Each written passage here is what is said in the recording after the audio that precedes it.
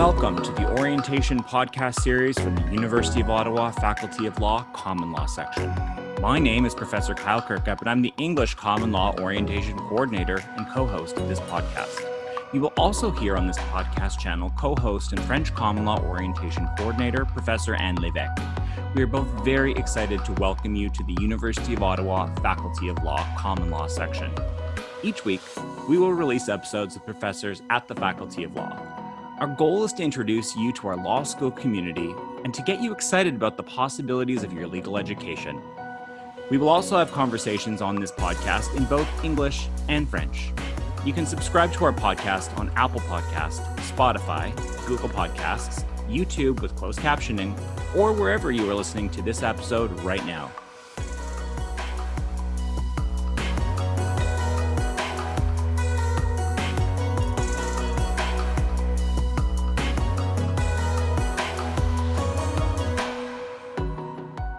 On today's episode, we talk about how to make the most of your time at the University of Ottawa Faculty of Law. Cereise Ross and Christina Emberley, both 2019 graduates at the JD English program, will join us to talk about first year law school and beyond, along with what the future holds for them in the legal profession.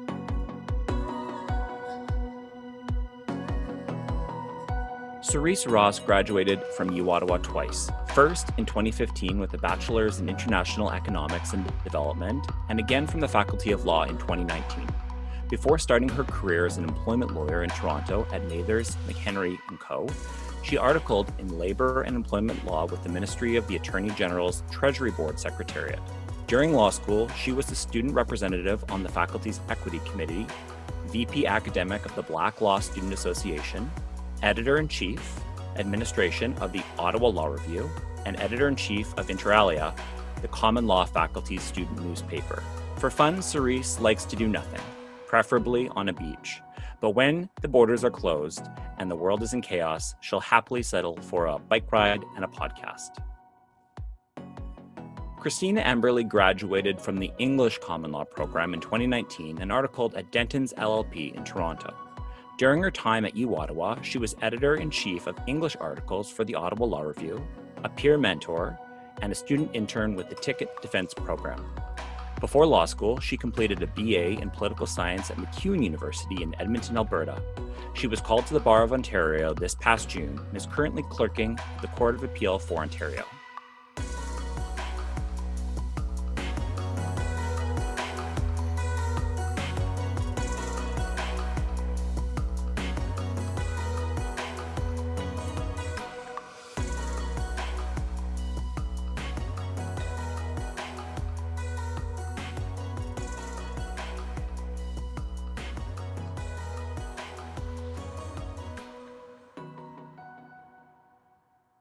So, Christina and Cereise, welcome to the podcast. So, you are both recent graduates of the program, and I'm sure you'll have lots of wisdom for our incoming law students. So, let's start with you, Cereise. Why did you decide to study law school at the University of Ottawa? Um, well, hi, everyone. Uh, thanks for having me, and Christina. Nice to see you. Um, why did I choose the University of Ottawa? I think for a couple reasons. First, Ottawa is a fantastic city to study in. It's has uh, that nice small town vibe, but it, you know it's big enough that you can get lost in it. Um, and because of that, the faculty were really um, a collection of people who I thought were really interesting. I also loved the fact that U Ottawa had um, the distinctions that you could do with your degree. And although it's not something I chose to do, it's something that I thought I might be interested in. Um, it's also a bilingual program, and as a bilingual person, it was you know another way um, to be attracted. I actually took a bilingual course during my degree, which I wouldn't do again, but I've done it, so I can say that's that's happened. Um, and last but not least, um, U Ottawa's commitment to um, uh, equity and um, inclusion and diversity in its teaching and its courses was really um, explicit. I found it quite explicit on the website. And having spoken to other people who had attended the university, I thought it would be a place um, where my introduction to the law, my introduction to the legal profession um, would get off on the, the best foot possible. And that is why I went to University of Ottawa. And I'm I'm I'm glad you did. It was it was great to work with you, Christina. What about you? Um, so hi everyone. Uh, thank you so much, Professor Kirkup, for having us here. Um, I did not take as sophisticated an approach as Cereise did, but uh, a big thing for me was that I wanted to do, um, and originally was supposed to do a dual program. So I was going to do the JD and then the master's at Carleton in international relations. Um, ultimately, I did end up dropping the master's, which um, was the right choice for me, but that was a big pull for me to go to U Ottawa. Um, and then in terms of the law school itself, um, the big stuff for me was the opportunities, excuse me, for experiential learning. So I wanted the opportunity to try my hand at different things outside of a traditional classroom setting. Um, the Ottawa Law Review was also a really big thing. I knew I wanted to do a law review, so having that there. Um, and then yeah like there's just so much opportunity at u ottawa like there's like i said there's the ottawa law review we've got the clinic um, there's the refugee hub there's CIPIC uh, there's just so many things that you can do outside of just a lecture class um, and that's that was a really big draw for me. Um, and another one was the student proposed internships. Um, I love that, that you can kind of have creative freedom to figure it out for yourself and find um, a workplace that fits really well for you. And I actually had the opportunity to go to Australia and do one. So I spent a January term in Brisbane, Australia, um, working at essentially a legal aid clinic there. Um, so that was a really big thing that I took advantage of and um, yeah, loved it. So let's go back to 2016. That I remember this time very fondly because it was actually my first day on the job as well. I started as a new professor in September of 2016. So it was obviously new for all of us. Uh, and so I wonder if, if Christine, if you could help paint the scene, what were the first few weeks of first year law school like for you? Yeah, um, they were really exciting, obviously. Um, I'm not from, so I'm from Alberta. Um, I had never been to Ottawa before, so just that was exciting. But um, yeah, getting there and kind of realizing your dream, it had been my dream for a long time to go to law school. Um, so it was really, really exciting to just meet new people and um, really kind of get off on that legal career journey. Um, but you know, if I'm being totally honest, it was also it was really intimidating and really overwhelming, especially the first couple weeks. Um, I am a first generation student um, and first lawyer in my family, and like I said, I'm not from Ontario, so I had never heard of Bay Street. I had never heard of all these like big firms. And you get to law school and like you're in orientation and like that's kind of what everybody's talking about and i felt really unprepared for all of that um, and i think too it's hard you know you you come from kind of being the top of your class wherever it is that you where you started and then you're amongst people who are so accomplished um, and so driven and so it was hard for me to not kind of be like oh you know am i cut out for this? Is this the right thing for me um, so I found that to be a bit intimidating. Um, and I also remember I was thinking about it, and um, I find it funny that this is what stuck out in my head, but you will get so many emails in those first couple weeks of law school and i remember that being so overwhelming um, and so i at one point i think just stopped checking my emails and i would uh, strongly advise everybody to not do that. Um, read dictum, read it top to bottom because there's so much information in there that I, I ended up missing a couple things. Um, so yeah, so it is, it's a lot. I mean, your schedule is just packed. It's a, it's a steep learning curve, but um, everybody's kind of on the same playing field and uh, there's so much support and community there that I think that makes it a lot easier.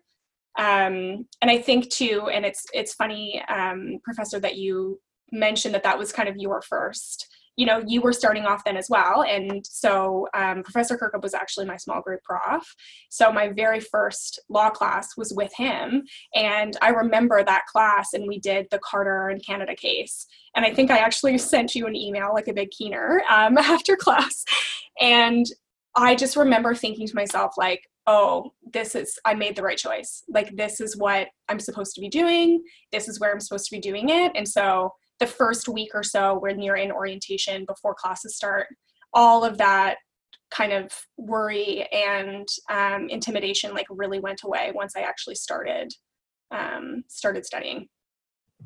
That's great. Yeah, I remember that email. I have it saved uh, in just a folder of nice things from students over the years. So, Cereise, I wonder if you could help us paint the the scene as well. What was those those first few weeks? You're in Fauteux Hall. You're in law school. What does that look like for you?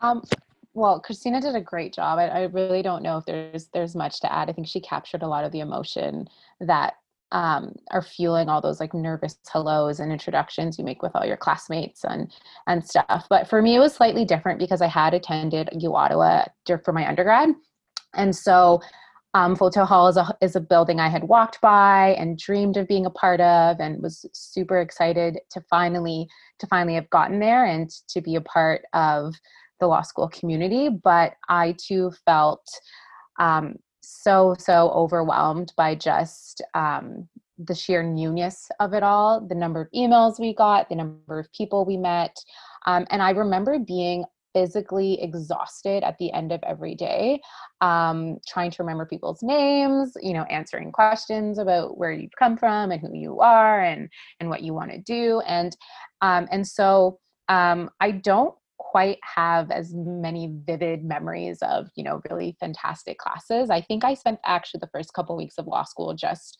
trying to keep my head above water um, and in doing that i ended up talking to a lot of different people um, and really searching for people who i thought were either feeling the same way or were willing to be honest about feeling the same way um, which can be really hard in law school because like christina said um, people are quite um, accomplished and um, everyone is very much used to being like the creme de la creme of wherever they've come from and so it can be quite hard to be that brutally um, vulnerable but um, with time i was able to find some people who also admitted that this is a lot um, and in doing that um, i was able to then kind of find my footing but i can't say that i felt at home in the first couple of weeks. I, I remember being very lost um, in almost every single one of my classes um, and having some real second thoughts as to whether I had made the right choice if I was, you know, in the similar vein of Christina, whether it's was something that I was really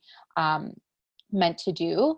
Um, and so, with that said, um, when I think back of first year, I think you know what they say is true. It's it's a very scary time, um, but it's also something that I spent and I think we all spend a lot of years working towards. And so nothing can really take away from that feeling of accomplishment when you walk through the doors. Um, and that's the feeling that I try to, and in those moments where I was, you know, on the, the jittering edge, I tried to hold on to the most.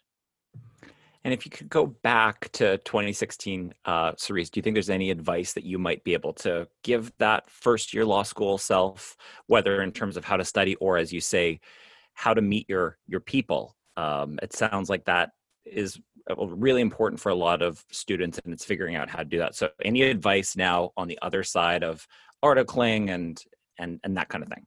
Um, yeah I, a couple things. Um, as christina pointed out i'm quite systematic in the way i kind of think of these things and so um, in terms of how to study i very quickly recognize that um, and I knew this from my undergrad that I am a group study type of person. I love um, hearing other people talk about these ideas, um, having those debates that happen in a study group, and really working through the material um, with people who you know aren't judgy and are willing to kind of get into the weeds with you. And so I quickly tried to find people who also studied like that, and I made friends with people who didn't. Um, but you know when it came to like dividing ourselves in the library i would go to a study room with people who were willing to have those like long hour sessions and other friends really went and, and studied quietly on their own. Um, so in terms of community um, friends ended up being kind of divided into people you studied with and people you got along with generally in class and other people who just shared your interest who i ended up meeting in different clubs like the law review which is not a club um, and, and, other things that I signed my name um, up for. Uh, and and through all those things, I was then I think able to find my footing and really feel um, more secure in the choice that I'd made. Christina, anything that you would add advice for your first year self in terms of studying or just getting your feet wet in first year law school? Yeah, um, I agree with pretty much everything that Cereise said. Um, I think a big takeaway for me was that whatever whatever got you to law school will get you through law school. Um, you will hear a lot of people who will tell you that there's one way to do something um, and I, I don't think that's true uh, you know if you like to handwrite your notes um, and study alone that and that's worked for you that's probably going to work for you most of the time um, in law school as well um, and i think you know just be flexible with yourself and be kind to yourself. It's such a big learning curve and sometimes the methods that you have are going to work sometimes they're not and you just figure it out as you go. Um, in terms of studying i think a big a big thing that um, comes up kind of a, a, lot is whether or not to use other people's summaries mm. um, and i think it's important and i think other people's summaries can be really helpful and i've used them for like i mean with permission obviously um, for structuring my own summaries but i think in terms of studying to learn the material the absolute best thing that you can do for yourself is to make your own summaries um, because that's you are going to engage with the material um, and i found i always made my own summaries um, and i would find so a few like maybe two weeks before the exam i would start actually making my summary and leave a couple days at the end for studying and i would find that i didn't even really need um, I mean, my, my, some of my grades would suggest otherwise, but I, I felt like I didn't really need those extra days because I just knew the material really well. Um, so I think that's really important. And you know, if you are going to use someone else's summary, to make sure you check it because um, my first year torts class after the midterm, the prof said, you know, I know who is using some old summary because the law is bad um, and you're citing cases that have been bad for about five years. Um, so just you know make sure that what you're that what you're using is at least accurate. But yeah, I think that's kind of the big thing. Christina, I totally disagree. Great, go for it, Cereise. I, I love this. I'm one of those people who relied heavily on summaries that I got with permission. Um, and I'm not, I did not leave the summary and just follow it as, you know, like a, a, text of life. I would sit in class and have the summary in front of me and I would actually edit it as I went along. I would take what the professor was saying and make comments. And if I noticed there was something really off about the commentary, I would highlight it in red and knew that that was something that I shouldn't rely on. But I relied on the structure and a lot of the details that previous students had put into their summaries and I built off of it. And I found for myself, um, I was really slow at reading and taking notes. It just was not a skill I ever mastered um, in law school. And so having this kind of rubric to follow along and that I could edit along the way uh, really worked for me. That said, I did have to spend more time at the end really going through it going through it rather um, and reviewing it in my study groups but um, I couldn't have I don't know where I would have found the time to to make my own summary from scratch. And Christina is a master of her own time. I, have seen it firsthand. She is impeccably like organized. Um, but for for myself, especially, I think also I took on a lot of other extracurricular things that I wanted to be involved in that I found relying on multiple summaries and kind of meshing them into my own was the best strategy. And I love it too because I've heard from students both uh, the Cereise account and the Christina account of summaries. And I think again, it's it's listening to your gut. If you feel like it's it's useful, use it. If it's not, uh, switch it up. Mm-hmm. Um, yeah, totally agree. Okay, so let's shift gears a little bit to talk about uh, ways because both of you, I think, are such examples of excellence in getting involved in the law school community. So maybe Christina, will start with you. How did you decide to get involved with various activities during your time at at U Ottawa? Because sometimes what I hear from students as well like it's so intense it's so busy like i'm just trying to get through my readings like i don't have time to get involved i'll get involved in projects that matter to me down the road so how did you do it and how did you manage your time yeah so um i knew in terms of like how i decided what i wanted to get involved in i knew that i wanted to do a law review before I started law school. That was kind of the only thing that I knew. Um, and it's because I have a journalism background and I really like editing. So I knew that that was something I would be interested in. Um, and so I did that all throughout. I started as an assistant editor um, in first year and then carried that right through to the end. Um, and yeah, so that was just something that I pursued out of interest. Um, and then I also did the ticket defense program, which is a program at the school that um, where you you're a student intern and you represent street involved clients at provincial court. So you'll go fight just provincial offenses.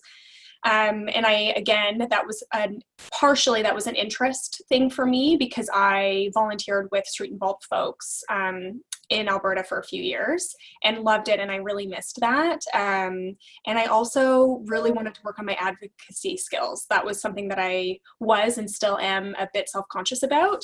Um, so that was a really good way to kind of cut my teeth and um, and learn those skills. Um, and then, when, and I also did. I was a peer mentor as well. Um, I did that in second year, and I was inspired to do that because I was very fortunate to have a great mentor in first year. And I think one thing that most, if not all people, I think agree on is that the U Ottawa law community is so supportive. Uh, I didn't feel like it was overly competitive like people were really supportive of each other and i really wanted to give back to that um, and so i think there's it's it's kind of a blessing and a curse that there's so much opportunity at U Ottawa because it can be really overwhelming. But because there's so many things, you can find something that works for you. So if you only have, you know, a little bit of time, you can get involved in a club or a society or something. Um, you know, first year for law review is not super demanding. Um, little plug for for law review there but just find something i think that you're interested in or that builds on a skill that you really want to work on um, you've got endless opportunities and in terms of time management um, i actually think if if like if i could go back i think i would have been involved in more stuff because i think when you without overextending yourself. I think when you are busy, you become more efficient. Um, and I think you feel more fulfilled, especially when you're doing things that you find interesting and that you care about. So I think you will figure it out. Um, you will find ways to make everything work. Um, and you know just have a good calendar system um, and the, the good thing too with your courses is that you generally know when everything is due right when you get the syllabus so you can plan things ahead and um, yeah and i think if you're if you're involved in stuff that really lights you up it's not going to be hard for you to find the time to do that and Cereise, what about you? I know you were so involved in the law school community, and uh, how did how did you do it, and how did you manage your time? Um, well, I actually like I have to echo so much of what Christina said, but um, first and foremost, I was actually quite, I thought, reserved um, in my first year, um, and of course. I came from a background in an undergrad where I had, you know, taken on a lot of things and I was sure I could handle it all, but I, I, knew that law school would be more challenging. And so I had done a lot of research before school started and kind of made a short list of things that I would maybe take on um, and then would decide kind of on the go. And I only ended up taking on the law review um, and the Nelligan Moot um, in my first year. Those were my two primary things, and I and I made those choices strategically. Um, but I think that just like what Christina said, um, I, I, did lose a little bit of the the kind of ability to kind of really time manage and be really passionate about what I was doing outside of the classroom, which which may have had an effect on my overall first year experience. So I chose to do the Nelligan because it was easy. It was an amazing way to get a mooting um, mooting experience at U Ottawa. U Ottawa is like a world renowned place to learn how to be an oral advocate. Um, and it's something that I was really interested in before before school. Um, and it's really easy to sign up. I think it was a draw that we got into. Um, and I got there within the first semester and it was, you know, a complete disaster. So that's a story for another day. But it was nonetheless a fantastic experience. Um, and it's something that we and my partner and I were able to kind of carve out time to dedicate to. Um, and it's was one of you know a fantastic experience that I had that year. The law review again, as Christina said, was something I knew I wanted to do um, quite early on, mostly because not because I had a real passion for editing, um, but I thought it would look great on, on a resume. Um, and I was already thinking ahead of how can I build these kind of legal experiences into my resume, um, coming from a background of economics that doesn't always that I didn't think would translate well um, in the legal profession. And so those were the two primary things that I, I, I actively took on in order to kind of start that th- those keener gears going. And and the third thing that i did which was more for a sense of community is i joined the black law student association. Um, and i did that because um, u is a huge school. It's a huge class that you enter with and it can be challenging to to find people that you can connect with and it was just another way to, to make friends and meet colleagues and to, to get mentorship from upper year students who had obviously been at the school for a year or two before and could pass down some wisdom Great. So let's let's shift gears a little bit to talk about uh, course selection for us. So at this point, our students will, for the most part, have picked their small group professor. So whether that's torts, pubcon, or criminal law, and they'll also have picked their thematic for first year. The rest of the the courses are pretty much set in the first year program. But before our students know what they're going to be into second and third year. So, do you have any advice on what students might do to help select the best courses for them? Maybe Christina, uh, we could start with with you. Yeah, so um, I think if you know what areas of law that you're interested in coming at a first year, which some people are and some people don't know. Um, I think just follow follow what you're interested in. Um, talk to upper year students. Um, there are Facebook groups and people are always asking questions about courses and stuff there. Um, I think, yeah, if, if you just kind of follow what you're interested in, generally you're going to do great. I also think, too, it's important. This is something that I did anyway. I like a particular teaching style. Um, so I tried to find professors who taught in that style. Um, I like smaller classes. I like um, more of kind of a seminar style or Socratic method as opposed to just kind of sitting and, and lecturing and take, taking notes. So um, even if maybe the, the topic of the course didn't line up with that, um, I, I tried to just find profs that I, I thought I would enjoy. Um, and I think too, course sign up day is one of the most stressful days of probably your life. um, so, because it's just you know it's just really hectic. Everybody's kind of trying to do it at the same time but there there's always movement and um, there's always another year. You know if you don't get into a course your first try you can always try again. Um, and i think you know if there's a course that you really really want to get into well then whatever semester that's in try and maybe register for that semester before the second one. Um, but i think if you if you just kind of yeah just follow your interest and I think too, don't get too caught up in what people tell you that you have to take.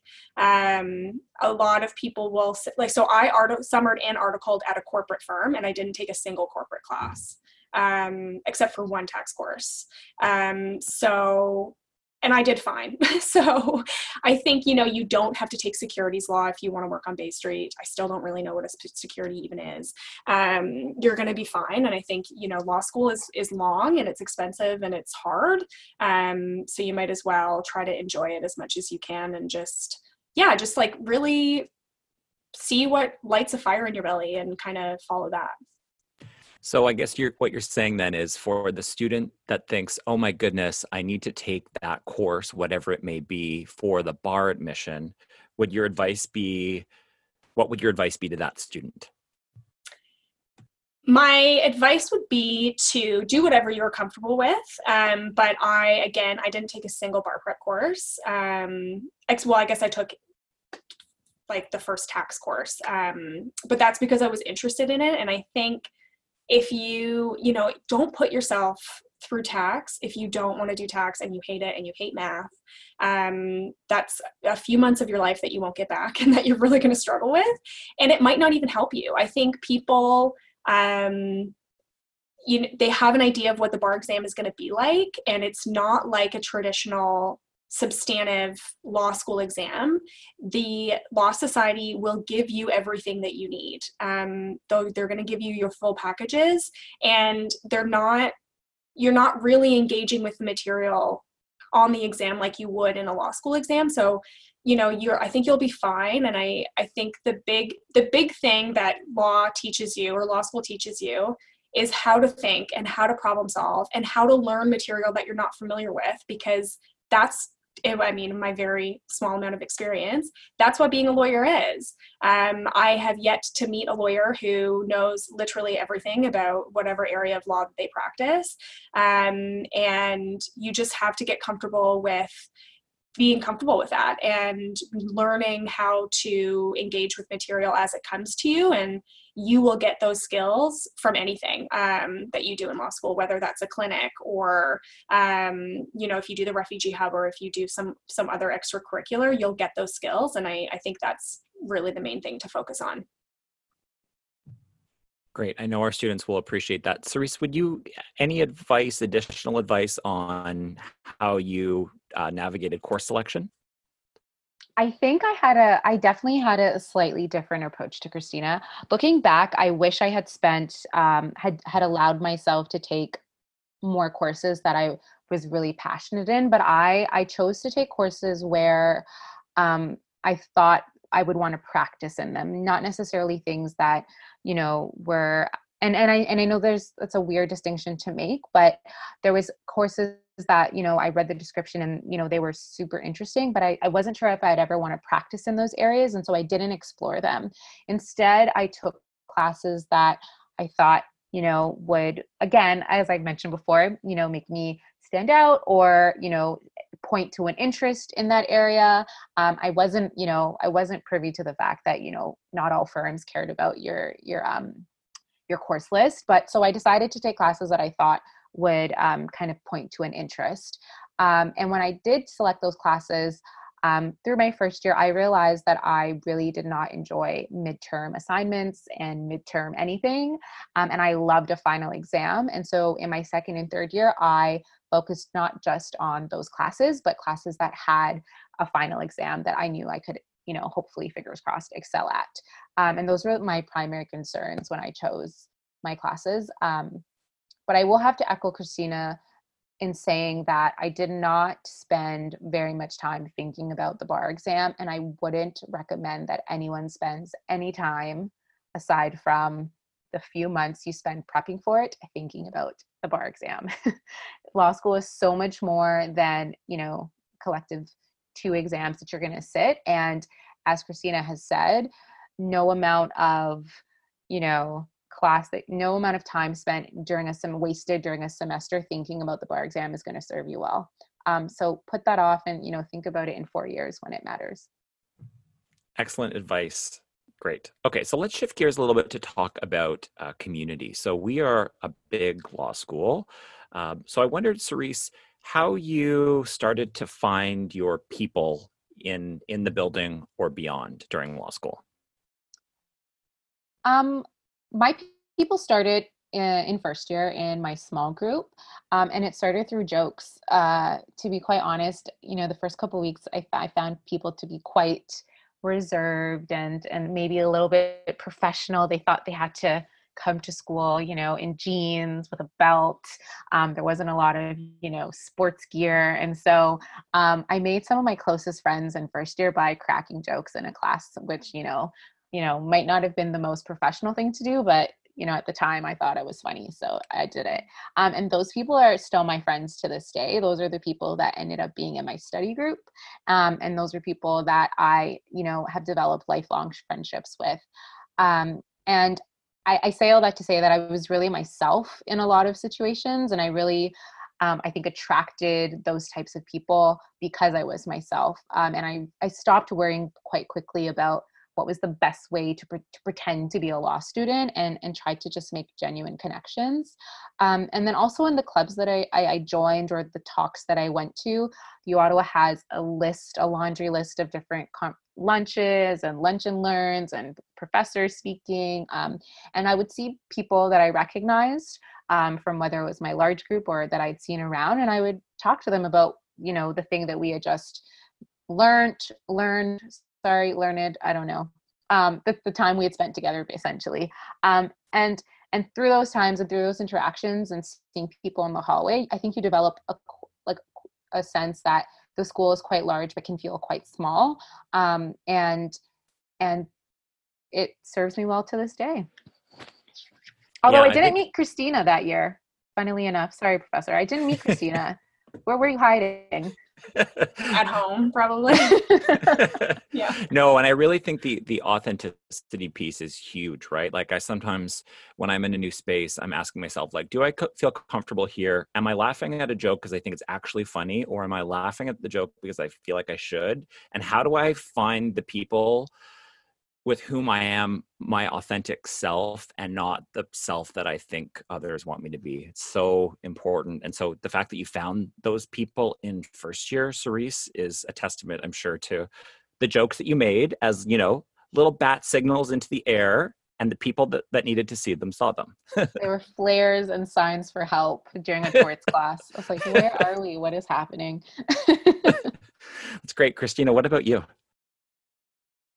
Um, luckily enough, I um, happened to meet like some of my best friends at the first lunch during orientation. We just happened to sit at a table together, um, and now we're all you know stuck together for life. Um, but the majority of people that I met was through uh, law review, the Ottawa Law Review, and the ticket defense program, and just getting involved in things. Um, I started law school a little older than most people. I think I was 29. I was 28, I think, when I started. Um, and so a lot of my cohort, especially my small group, a lot of people were in their early 20s. Um, and so I think a lot of people, you know, and there's something for everybody. Like there'll be a lot of parties and social events and things that like I had kind of gone out of that phase already in my life.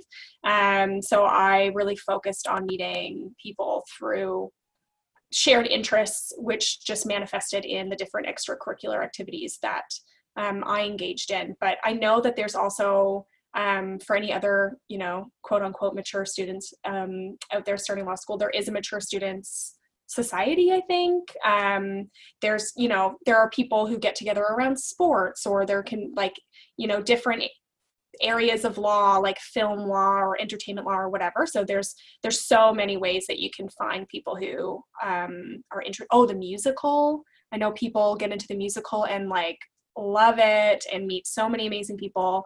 Um, so there's so much great stuff um, that you can do and and and meet your little u ottawa family.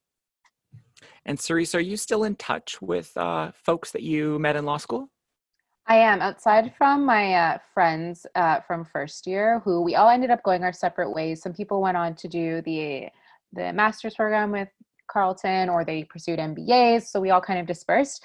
Um, I I was able then to kind of recreate those networks networks like Christina mentioned through different clubs, and I am still in multiple group chats where now as junior lawyers we air out our grievances and our woes and we ask each other for advice and we help craft emails for each other and we really are um, groups of support um, and christina and i are in our own um, and i and i hope that those group chats will continue you know in every aspect of my life not just you know my professional my professional track career And what about you, Christina? Still in touch with folks?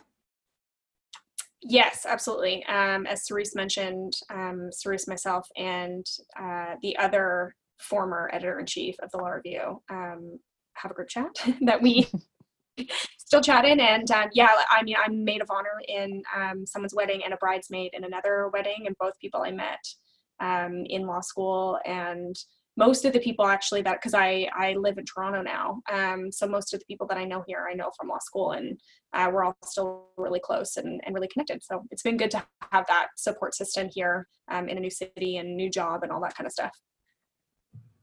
I love it. It's you know I uh, in my small group now the uh, assistant dean of students Rachel Lack. We were in the same small group 14 years ago, and now we work together. So it's like the pitch for you never know where the people in your classes are going to to end up. Okay, so maybe uh, last couple of questions.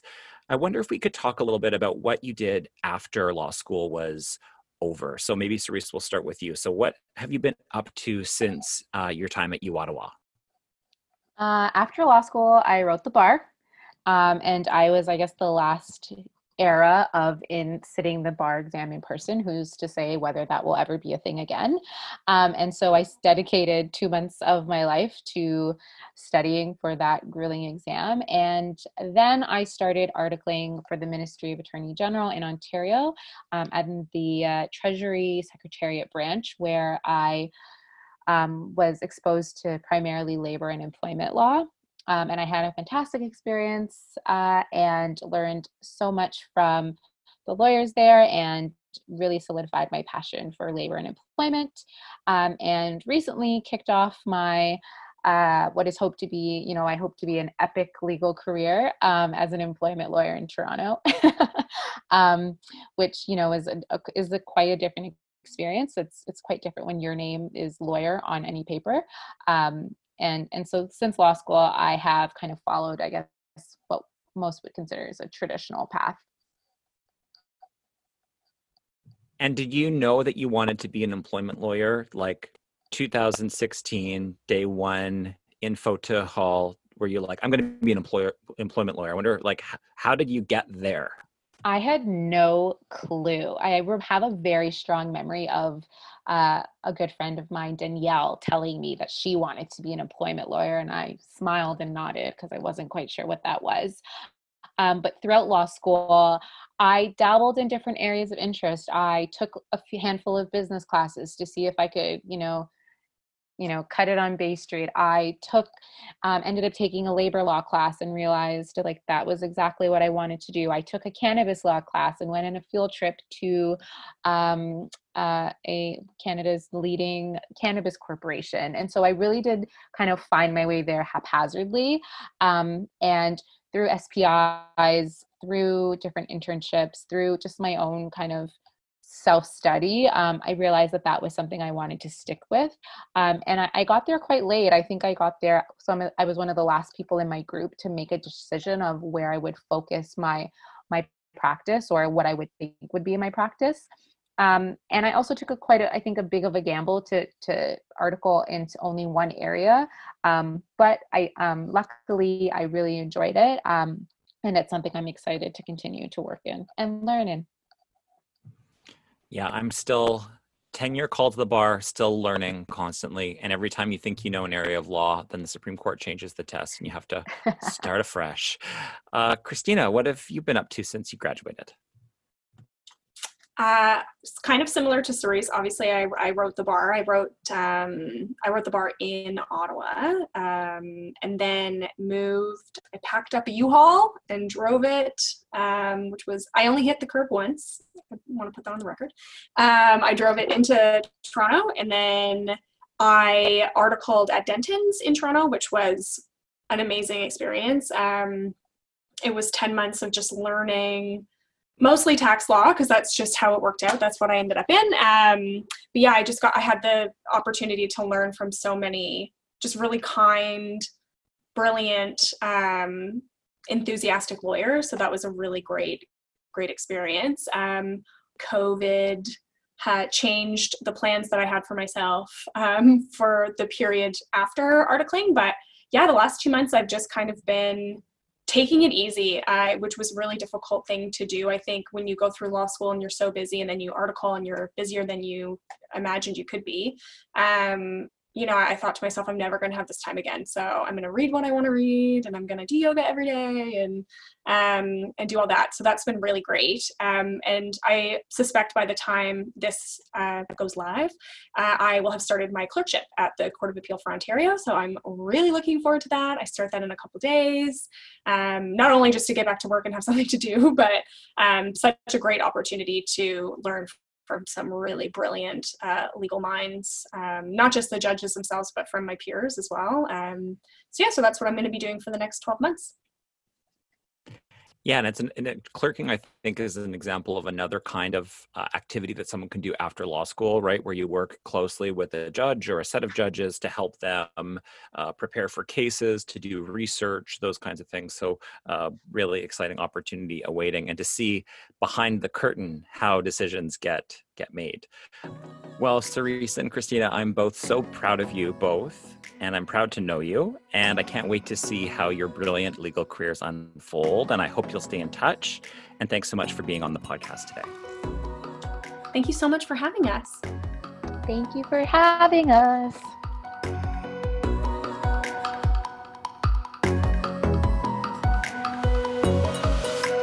You've been listening to an episode of the Orientation Podcast series from the University of Ottawa Faculty of Law Common Law section. You can subscribe to the Orientation Podcast series on Apple Podcasts, Google Podcasts, Spotify, YouTube with closed captioning, or wherever you are listening to this episode right now. If you are a first year University of Ottawa Faculty of Law student, you can also find additional sources at the Orientation 2020 Brightspace page. Thank you for listening, and we can't wait to meet you soon. This episode has been produced by Tech Law Fellow June Glee.